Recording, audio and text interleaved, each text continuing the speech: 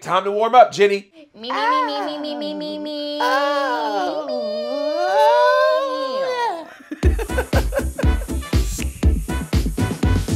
If anyone is still watching, this is What's Up Disney Plus, where we talk all things Disney Plus. Yes, if you're a Disney music fan, this episode is no joke. Today we are talking with Kristen Anderson Lopez and Robert Lopez, the songwriters behind Frozen and Frozen 2. We'll be checking in with DCappella and we'll be discussing some of Disney's 2021 award nominated tunes. The music is in us today, Andre. Let's get started. Andre, since we're entering award season, we have to talk about the most iconic nominated Disney singles. What were some of your favorites? Well, you gotta talk about Frozen 2. Frozen gave us so much good music, and so in the second one, we got even more. The whole soundtrack was nominated, as well as the song Into the Unknown, which is a great song for Elsa. I really loved it, even though I'm personally a fan of Lost in the Woods because I love my 80s ballads. But that song for Elsa was just so great. In addition to Frozen 2, Onward also had a song get nominated, Carried Me With You. and That's just a fun movie with some great emotional moments, so it's good to have a song like that be a part of it and also get that nomination.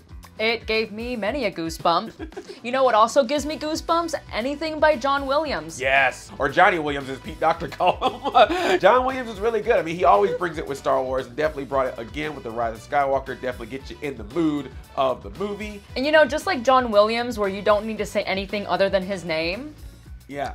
Beyonce.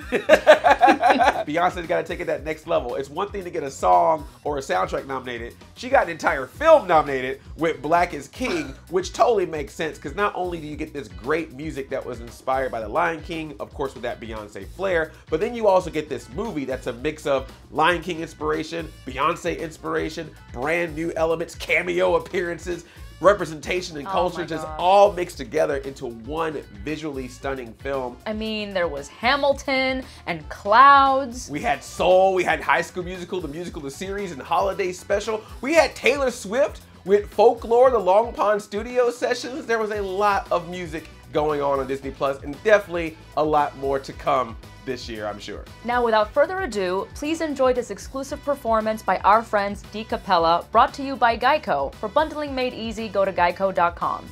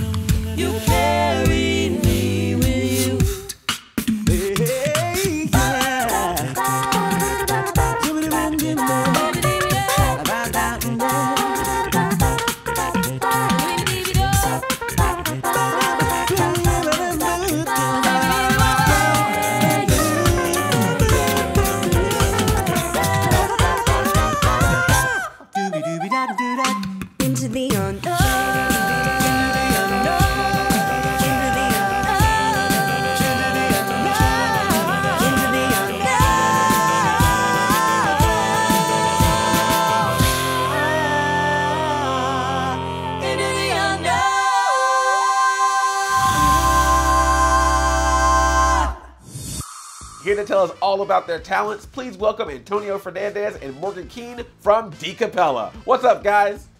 Hey, Okay, so for people who may be discovering DCappella for the first time, tell us what the group is all about.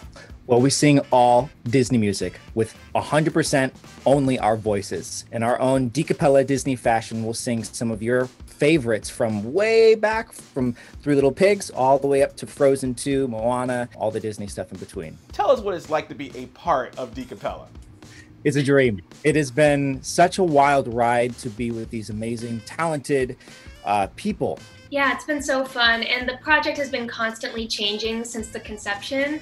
So it's been really, really cool to be along on the ride. Okay, so tell us who's who in the group and everyone's role. I'm Morgan, I'm the soprano. I sing the highest out of all the girls. Kaylin, who's the mezzo soprano, she's kind of in between the soprano and the alto. Kelly, who is our alto, so she sings all the lower notes out of all of the girls. RJ, he's the tenor, he sings all the fun high stuff. Orlando, who is the baritone, so he's kind of in the middle. Joe, who's the bass, so he sings all of the nice, low, beautiful notes. Antonio, who is the vocal percussionist of the group, he does all the really cool sounds, and I'm sure he would love to show you a little bit right now. Oh yeah. Yeah, yeah.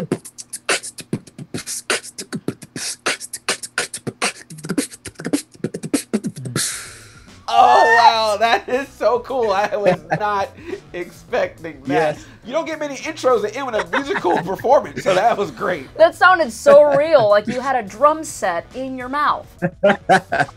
what has been your favorite performance so far? Not necessarily like performance, but I do have a favorite song that we do get to perform, and that is the Just Around the River Bend Colors of the Wind medley. I love Pocahontas, I always have. Those are two of my favorite songs. I definitely loved when we were in Japan and we sang Beauty and the Beast.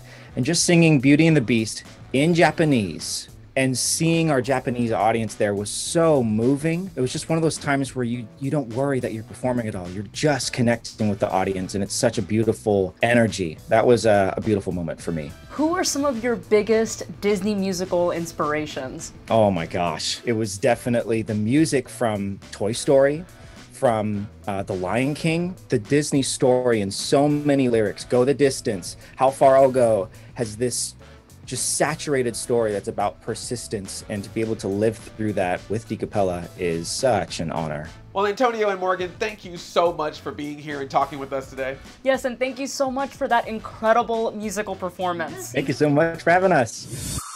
This Justin Andre, fresh off the press, I'm getting real time reports of what's new.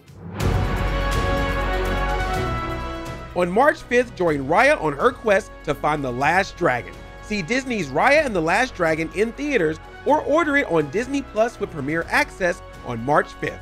Learn more at disney.com slash Raya. It's nearly showtime for February. Next month, stream new episodes of Marvel Studios' WandaVision, all five seasons of The Muppet Show, and the original movie Flora and Ulysses, and more. This season, a new team will fly together. The Mighty Ducks Game Changers, an original series, starts streaming March 26th on Disney Plus. Now we are honored to be joined by the creative geniuses responsible for the original songs from Walt Disney Animation Studios' Frozen and Frozen 2. A big Disney Plus welcome to our guests, Kristen Anderson Lopez and Robert Lopez. Hi, guys. Hi. We absolutely loved seeing your creative process in Into the Unknown making Frozen 2. And so tell us a little bit more about how you two work together. Well, it always starts with story and character. Uh, it always making sure that we are thinking the same way about what the character is feeling, um, making sure that the character is in a moment that his or her feelings are so strong she has to sing them instead of speak them, and also a decision, a moment where that emotion will turn into a decision that continues the story forward. Right, and takes it to a place where it can't ever turn back. And we we do a lot of talking, finding um, phrases and musical phrases that might guide us. And then by the end of the discussion, which I usually uh, stop us from writing until we kind of have the song just on a notebook, and then we just put the song together. What was the biggest difference between writing music for Frozen versus Frozen 2? Writing the music for Frozen, we were actually still seeking the characters. We, we didn't know the personality of Elsa or Anna or Kristoff. Right, there was a draft where Elsa was a villain, and um, we had to just erase that and start over. We had written a bunch of songs for those characters. But when we were doing Frozen 2, which is the sequel, the challenge we thought we knew the characters but we really had to bring them to a different place to give them something new to sing about because if we've done our job right for the first one there's nothing left to sing about The metaphor is if you do your job right, it's like you squeezed all of the toothpaste out of the toothpaste tube. Knowing that we had to write a sequel meant we had to say, like, where is there still toothpaste? And for Frozen 2, the toothpaste was, is Elsa really where she belongs? Who is your favorite character to write songs for? and why? I guess for me it's Elsa. I really Yeah. um, I enjoy kind of having an excuse to become uber feminine and he does. powerful and and uh, you know self self evolving. I love writing for Kristoff. We we didn't get to write for Kristoff very much in the first movie because he wasn't able to feel his feelings enough to really sing. But this time around, I loved writing an 80s ballad for that man who was just learning to be in touch with his own feelings. I really had a great time finding that right place between goofy and emotional. So, Kristen and Bobby, you have created some iconic songs from both Frozen and Frozen 2, so we thought we would issue a little challenge. We're going to play a small snippet from one of the songs from Frozen or Frozen 2, and you have to guess what the song is based on that snippet. Are you game? Oh yeah. We love games. This is going to be fun. All right, here we go. Here's the first track. That's a next right thing. Yeah! That is right. that is the next right thing for Frozen 2. Next right thing. I thought this was going to be a little easier because it was our stuff, but that, that was very short. Okay. Reindeers are better than reindeers are better than people. Wow. Yep. People smell better than reindeers. Do you want to build a snowman? Yeah, that's from the middle part. Yes. Do you want to build a snowman? Ah, let's Show show, yourself. yourself. Yes. Every inch of me is trembling. That was me. I was playing that. Oh, really nice. I really loved playing a lot of piano in Frozen 2. All right, let's see if you can guess this one. That's some things never change. Yeah, that was also That's me. you. Yeah. Some things never change. Far, Yeah, that's um for the first time in forever. Yeah. Yeah, there it is.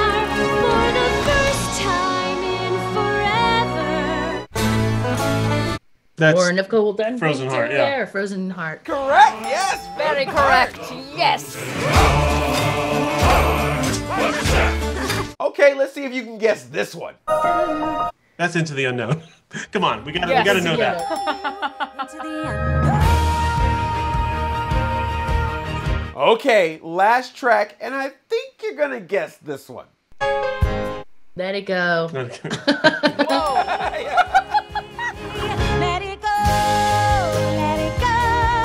I mean, congratulations, because you got all of them Yes, right. way to go. You got all of them right. You know your songs. Very awesome. We need not Thank you. we need not sign off in shame. Well, thank you so much for your time. We really do appreciate it. Thank you Thank guys. That was so you. much This fun. was really this fun. was great. Use your ears and eyes to stream Frozen and Frozen 2 on Disney Plus. Well, Jenny, I think it's time to wrap this episode up on a high note. Make sure to stream all of your favorites on Disney Plus, and we'll see you next time. Yeah, I'm gonna go do some frozen karaoke in my living room. Can you show us a preview? Lost in the woods, north and south. What was that? I think they got it.